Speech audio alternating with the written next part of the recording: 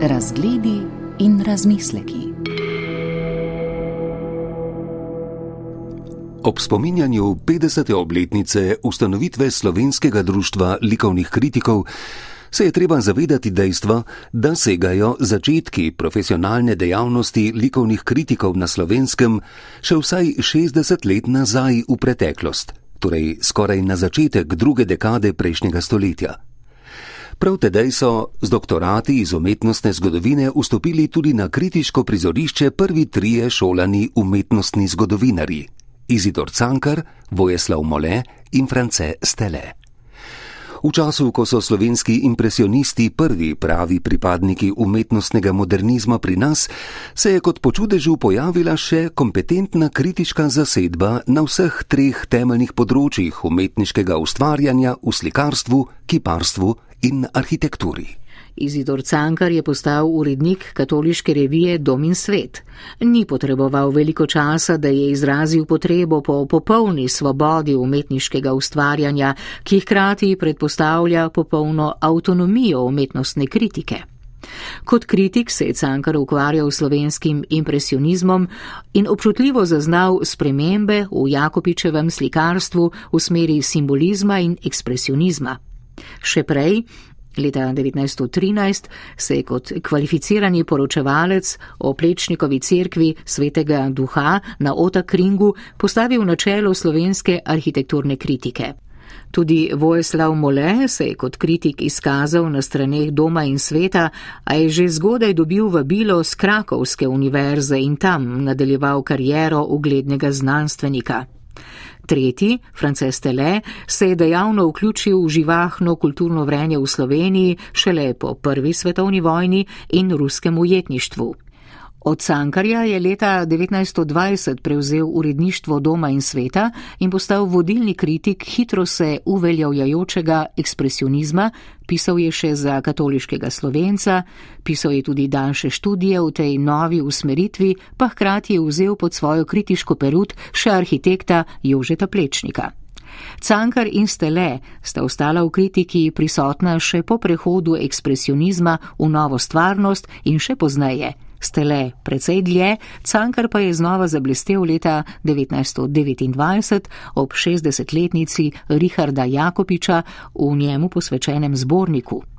Tedanja kritika in kulturna ozaveščenost sta torej porodili celo knjigo kritiških esejev, kar smo z leti in desetletji že skoraj pozabili, kaj je to, a je k malu, leto dve potem, že išla knjiga Krok, zbornik umetnosti in razprav v redakciji Rajka Ložarja, tudi kritika. V ozračju plečniku skoraj konsenzualno naklonjene javnosti in kritike so se začeli pojavljati kritični oponenti, najprej Ivan Vurnik in nekaj učencev njegove šole, potem iz vrst nekaterih redkih plečnikovih disidentov, kot je bil France Tomažič, ne nazadnje iz vrst arhitektov, ki so prišli z arhitekturnih šol v tujini, kot sta bila Ivo Spinčič in Jože Mesar. Leta 1931 je začela izhajati revija Arhitektura, glasilo te neformalne opozicije, ki pa razen načelne pripadnosti doktrini funkcionalizma in na njo oprte kritike in kljub široki teoretski podpori hrvaških in srpskih arhitektov ni zmogla prevladati. V obdobju polnem napetosti in strahu pred vojno je pa vzdignila svoj glas iz sence tudi angažirana levo usmerjena kritiška misel. Njen zmerni del je v reviji Sodobnost predstavljal France Mesesnel, njen radikalni del pa Ivo Brnčič, ki se je postavil na stališče, da so bili templji umetnosti odnegdaj politične tribune in terjal v imenu umetniške progresivnosti ustrezno aktivistično kritiko. Med drugo vojno opažamo dvojnost umetniške dejavnosti. Po eni strani nadaljevanje, bolje pojemanje meščanske, etablirane umetniške in kritiške dejavnosti, po drugi v vrstah pripadnikov osvobodilne fronte na frontah in v njihovem zaledju pa vznik ilegalnega časopisja in v njem angažirane risbe in grafike propagandni značaj in enoznačna angažiranost za tako imenovano našo stvar po naravi stvari razumljivo ne dopuščata nobene kritike. Po končani vojni in prevzemu oblasti komunistične partije nobena kritika ni bila dobrodošla, če bi morda nasprotovala odločitvam ali dejavnostim, ki jih je upeljevala nova oblast. In če je oblastna ideologija od umetnikov in njihove umetnosti terjala, da postanejo del državne umetnosti, ukrojene po zgledih iz Sovjetske zveze, potem je bilo umetnikom in kritikom hitro jasno, da je zapovedana umetnost socialistični realizem. Naloga kritike pa je, da se drži ideološko zapovedanih omejitev. Novi državno-politični diktat sta sprejemala predvsem kritika Asta Znidrčič in Stane Mikuš. Mehčanje političnih omejitev je bilo počasno, a uspešno. V prvih vrstah borcev za svobodno umetniško ustvarjanje srečamo arhitekta Edvarda Ravnikarja, ki je s kritiko spacalovih lesorezov leta 1951 opozoril, da se more s tem, ko jim priznamo njihovo umetniško veljavo, meja dovoljenega predvsej dvigniti. Ob koncu 40 let prejšnjega stoletja je na prizorišče stopila nova generacija kritikov, kot so bili Marjan Tršar, Špelca Čopič, Emilijan Cevc, Nace Šumi, Luc Menaše, Zoran Kržišnik in opazno še mariborska strokovna kritika, ob starejšem Franu Šijancu še mladi Sergej Vrišer. Tretji slovenski umetnostni center se je izoblikoval v Trstu in je že zgodaj v drugi polovici 40 let pomembno vplival na razvoj sodobne umetnosti v ideologiji zastali Ljubljani s slikari, kot so bili August Černigoj, Lojze Spacal, Avreli Lukežič, Jože Cesar, Kipar, Čelo Pertot in drugi. Ti so doživeli tudi kakovostno kritiško spremljavo sprva v osebi Frana Šijanca, pozneje Černikojevega mladostnega sopotnika Milka Bambiča, dolgoletnega kritika primorskega dnevnika. Ta generacija kritikov, rojenih v zgodnjih 20 letih, je prišla tako rekoč že na osvobojeno ozemlje umetnosti in kritike. Svojo vlogo so dojemali kot utrjevanje dosežene umetnostne in kritiške svobode, širjenje in poglabljanje dotedanjih stališč in odpiranje novih možnosti za razmah slovenske umetnosti v svetu, za kar gre zasluga predvsem Zoranu Kržišniku z ustanovitvijo Mednarodnega grafičnega bienala leta 1955 v tesnem sodelovanju z Božidarjem Jakcem in poznaje še drugih pobud v tej smeri. Pri tem pa ne gre pozabiti, da so bili kritiki hkrati zaposleni v številnih kulturnih ustanovah in na fakultetah, kjer so po steletu podrobno znanstveno raziskovali posamezna zgodovinska umetnostna področja in objavljali temeljne študije in knjige o svojih dosežkih. Na kratko. Romaniko je obdeloval Marjan Zadnikar, srednjeveško kiparstvo, vključno z renesančnim Emilijan Cevc, baročno kiparstvo Sergej Vrišer, novoveško arhitekturo Nace Šumi in tako naprej. Le Luc Menaše, Špelca Čopič in Zoran Kržišnik so se bolj, a ne izključno posvečali sodobni umetnosti in bolj pogosto tudi v kritiškem pisanju. Vodilni kritik arhitekturnega dogajanja iz vrst umetnostnih zgodovinarjev je postal Nace Šumi.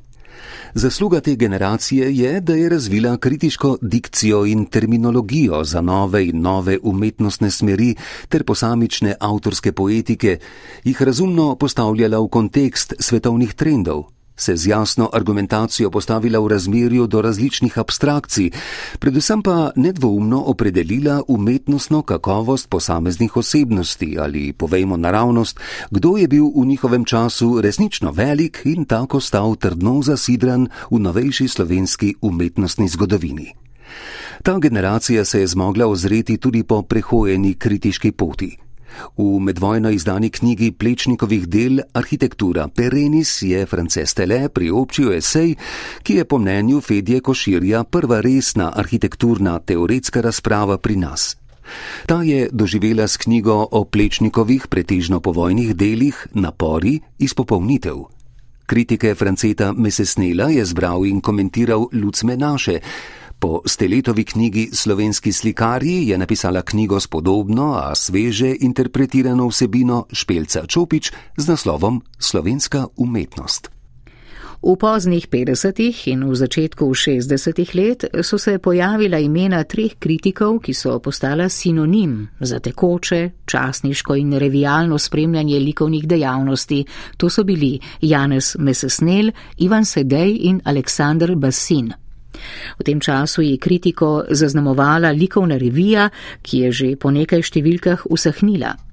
Predvsej bolj ustrajna je bila revija Arhitekt.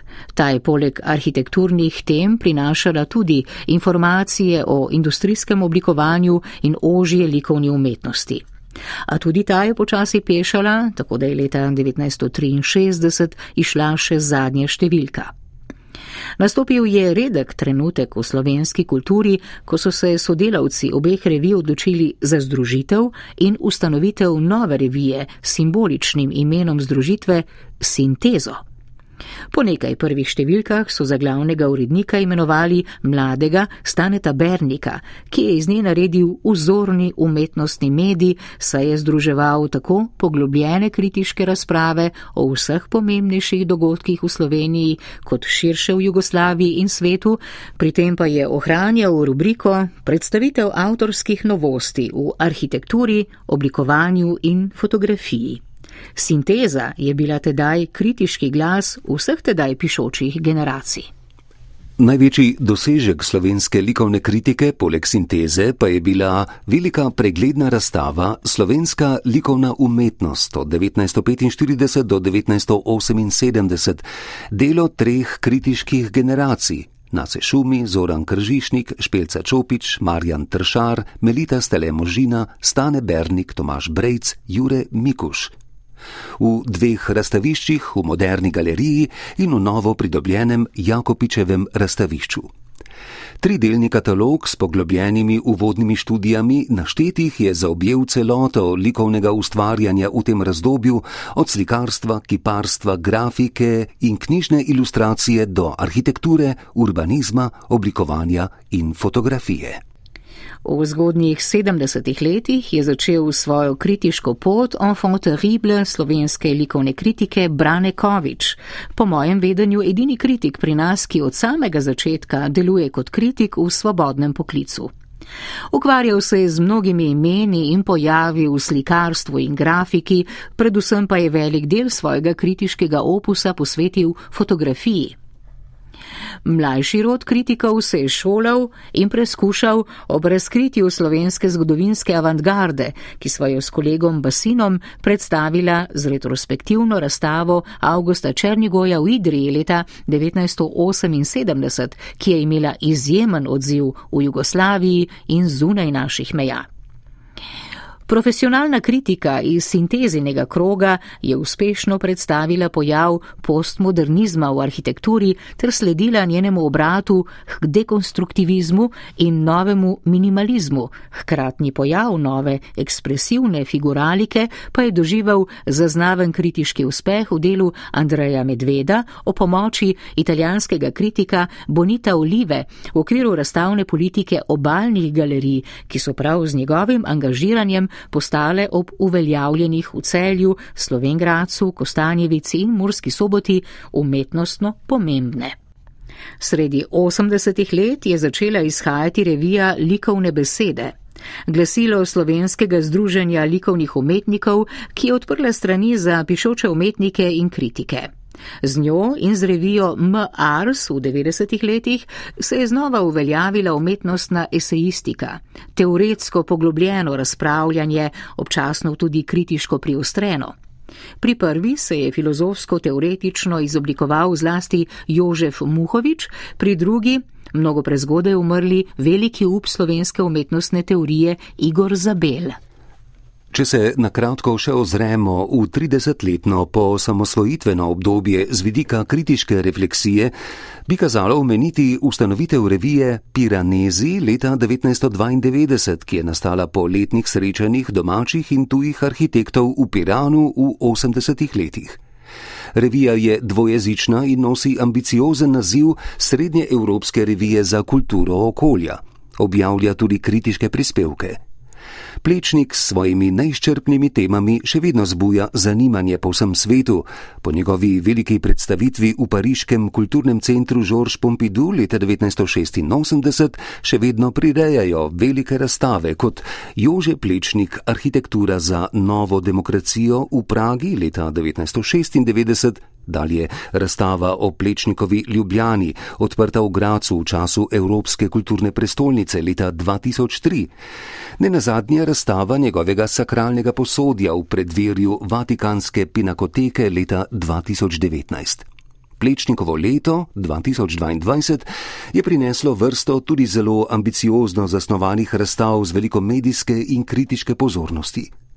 Kljub vsem tem vidnim priznanjem v mednarodnem prostoru katerih vrhunec je bil nedvomno upis plečnikove dediščine v Ljubljani na seznam UNESCO leta 2021, pa se od leta 2008 odvija bitka med civilno inicijativo z močno udeležbo kritikov za ohranitev plečnikovega stadiona v prvotni podobi s povampirjenim kapitalom. Ostre polemike se vrstijo vse do danes, a popolne zmage inicijative še ni na obzorju. V svetu precej opazna stavba gospodarske zbornice Slovenije, delo skupine Sadar in Vuga arhitekti leta 1999, nas znova sili k vprašanju, kaj je slovenska država sama, ne para državne institucije, naredila pomembnega na področju graden državnega pomena v 30 letih. Razen cestnega križa nič zares pomembnega. Vse doslej se ukvarja samo s prizitki in adaptacijami. Leto 2013 so zaznamovala razprta obzorja, predstavitev umetniških del pretežno slovenskih umetnikov v zamejstvu po drugi svetovni vojni iz zbirke bančne skupine KB s predstavitvama v Cankarevem domu in v nekdani tržaški ribarnici, preurejeni v velik razstavni prostor. Kot galeristka se je zelo potrudila Nina Pirnat Spahič, Vit Lenart pa kot kustos in pisec uvodnih besedil v dvojezičnem katalogu. Dve leti zatem je začela izhajati revija Outsider z vabljivim podnaslovom Revija, ki presega meje. V tem duhu je revija vendarle bolj na široko odprla strani za številnejše pisce različnih poklicev in provenienc, kot to sicer počnejo revije, ki jih izdajajo in pišejo arhitekti. Pod uredništvom Nine in Mateuža Grande objavlja predstavitve, kritiko in dopušča tudi polemiko med ožjimi sodelavci revije. V njenem okolju se je formiral eden najboljših, najbolj razgledanih mladih kritiških avtorjev, arhitekt Miloš Kosac. Prav pred kratkim je začela izhajati revija Cukr, ki se je pojavila kot tiskana spremljevalka urbane kulture v okolju novega obetavnega razstavišča Cukrarna. Na prvi pogled se posveča pretežno filozofski in kulturološki esejistiki. Pravih kritiških tekstov še ni zaslediti, vendar sem, glede na mladost revije in uredniški odbor, ki jo ureja, prepričan, da jih ne bi bilo težko prepričati za objavo resnih kritiških prispevkov. Osrednji vprašanji, s katerima se je ukvarjalo slovensko društvo likovnih kritikov, katerega 50-letnice se spominjamo, sta bili rast in spodbuda kritiške profesionalnosti, torej kompetentnosti v presoji umetnostnih pojavov in kulturni učinek v javnem, nacionalnem in, zakaj ne, tudi v mednarodnem prostoru. To vprašanje pa se neposredno veže na odnos medijev do kritike in njihovega nezavedanja vloge kritike v dobrih 150 letih eksplicitnega modernizma. Skozi vse delovanje društva izstopajo javni pozivi uredništvom medijev, da je treba likovno kritiko in še posebno arhitekturno vabiti in primerno nagrajevati. Prizadevali smo si doseči stanje, ko bi mogel kritik živeti zgolj od pisanja kritik. Naša kritika je v povojnem razdobju nastajala še vedno v prostem času, potem ko so kritiki svoje delo po možnosti v kakšni kulturni ustanovi že opravili. Torej ne iz poklicne nuje, temveč iz zavesti o kulturnem primankljaju kritike v naših medijih. Ne enkrat smo na naših zborovanjih naslovili poziv medijem naj se zavedajo kulturnega pomena kritike in naj jo objavljajo, spodbujajo in spodobno plačajo. Tiskani mediji so bili že po tradiciji odprti do kritiškega pisanja in z večine pošteno objavljali tudi polemike, glede višine honorarjev pa so bili nepopustljivo skopi. Vedno znova smo naslavljali ostre proteste in zahteve na nacionalno televizijsko hišo, da bi vabila kritike v svoje studije in nastope tudi honorirala. Po spodbudnih začetkih, ko je televizija v svojih schemah odmerjala kritiki še dovolj časa za resno kritiško presojo določenih umetnostnih pojavov in dogodkov, spominjam se denimo tedenskih komentarjev Filipa Kumbatoviča Kalana, ko je kritiki odmerjala še posebne oddaje, denimo oči kritike in letne kritiške preglede, se je prostor za kritiko vse bolj krčil. Namesto tega so oddaje o kulturi, pretežno vljudno poročanje o posameznih dogodkih, ki jih pišejo in posnamejo tam zaposleni novinari, zunanih za posamezna področja specializiranih kritikov pa ne vabijo. In to počne nacionalna televizijska hiša že leta. Da bi komercialne televizije, kot denimo Pop TV, v svoje programe vključevale umetnost in kritiko, je bilo od samega začetka povsem iluzorno pričakovati. Prav ti pojavi, ki sem jih navedel, zaznamujejo razmerje med kritiko in mediji v po-osamosvojitvenem obdobju. Govorim iz osebnih izkušenj. V prvih nekaj letih po osamosvojitvi, ko so lastništvo časnika delo prevzeli zaposleni, so se honorari za zunanje sodelavce, tudi kritike, znatno popravili, pa ni trajalo dolgo. Kot je znano, je postalo delo žrtev lastniških prevzemov, novi lastniki pa so ga, podobno kot druge tudi nemedijske družbe, začeli finančno izčrpavati. Posledica tega so bila odpuščanja novinarjev, s padanjem naklade so sledila nova odpuščanja in upokojitve, tako da je v kulturnih redakcijah naših dnevnikov samo peščica novinarjev, ki pišejo o vsem. Če ponudite uredništvu v objavo kritiški zapis, ki vsebuje tudi kaj daljšega in bolj poglobljenega, ga bodo objavili, a vas bodo vnaprej opozorili, da ne pričakujte kaj več kot ponižujoči simbolični honorar. Res, še nikoli v preteklosti niso bili ti tako sramotno nizki, kot so danes. Domnevam, da tudi v lokalnih časnikih ni nič bolje. Po drugi strani pa so se razmere za predstavljanje umetnostnih dejavnosti v naših javnih institucijah znatno izboljšale. Etablirani nacionalni muzeji in galerije so pridobili številne nove prostore. Lokalne galerije, tako občinske kot zasebne, so se namnožile. Poleg dveh galerij v Cankarjevem domu smo denimo v Ljubljani doživeli še razsežno cukrarno.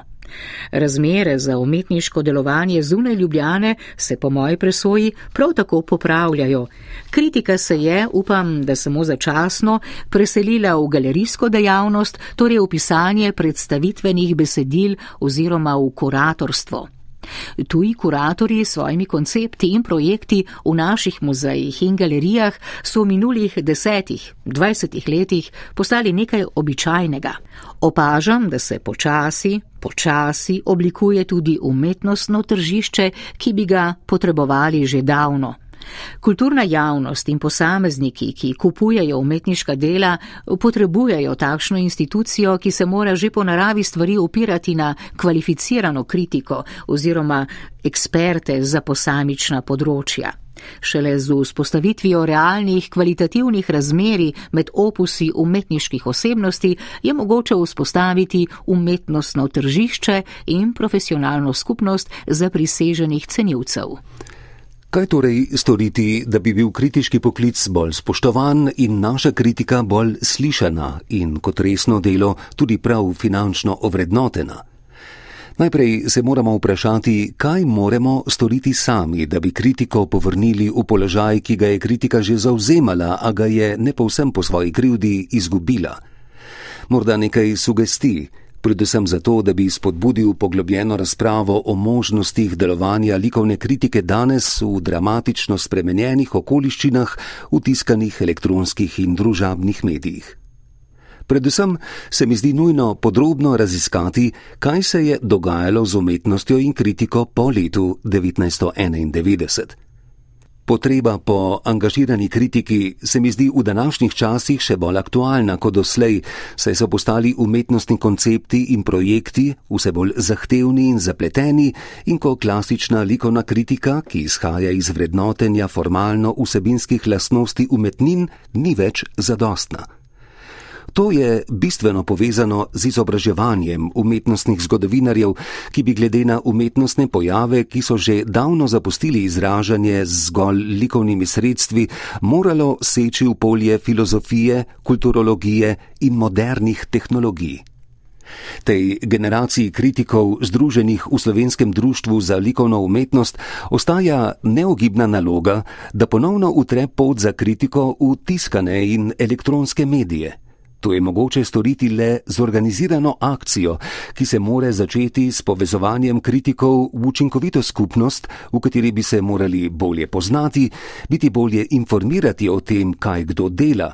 To pa je mogoče v tem trenutku doseči z ustanovitvijo kritiškega portala, v katerem bi objavljali svoje kritike in se obveščali o dogodkih, pomembnih za umetnostno dogajanje in kritiko razgledi in razmisleki.